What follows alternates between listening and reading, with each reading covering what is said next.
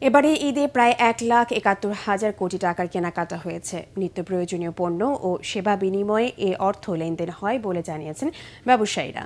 এতে করোনা মহামারী কাটিয়ে স্থানীয় শিল্প, তথ্য প্রযুক্তি, পর্যটন সেবা ও শিল্প খাত প্রসার হয়েছে বলেও মনে করছেন তারা। শারফুল আলমের রিপোর্ট। ঈদ উৎসবে এবার ঘুরে দাঁড়িয়েছে দেশের ব্যবসা বাণিজ্য।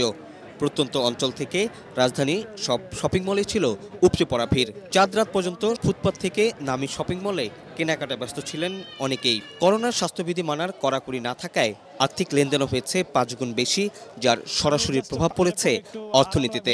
ঈদ পোশাক বলতে আমরা যেটা বোঝাই বা ঈদ বাণিজ্য বলতে যেটা বোঝাই এই দুটি জায়গায় সবচেয়ে বেশি লেনদেন হয়। এক লাখ সত্তর হাজার পাঁচশো কোটি টাকার মতো এই পর্যন্ত লেনদেন হয়েছে। দুই বছর বন্ধ থাকার পর এবার বিপণী বিতানের পাশাপাশি অনলাইনেও কেনাকাটা বেড়েছে। এতে এসএমই উদ্যোক্তাদের ব্যবসা প্রসারিত হবে বলে মনে করছেন সংশ্লিষ্টরা। অনলাইনে ই কমার্স সাইডেও আমরা খুব ভালো ব্যবসা করেছি। প্রায় তিরিশ থেকে চল্লিশ পার্সেন্টের মতো আমাদের গ্রোথ ছিল গত দুই বছরের রেসপেক্টে যদি আমরা কম্পেয়ার করি। ফেসবুকেও যারা লাইভ করে ব্যবসা ব্যবসা করে ফেসবুক পেজগুলিও তারাও খুব ভালো করেছে। সবাই চেষ্টা করছে যে কোভিডের সময় যে ক্ষতি হয়েছিল সেটা পুষিয়ে নিতে।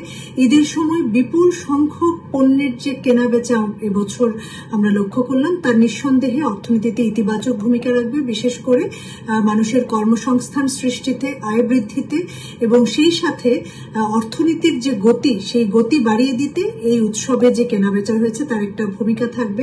পুনরুদ্ধারের অর্থনীতিতে এবারের ঈদ বাণিজ্য সহায়তা করেছে জানিয়ে বিশ্লেষকরা বলছেন এই ধারাবাহিকতা ধরে রাখতে দেশি প্রয়োজন, রাজনৈতিক স্থিতিশীলতা।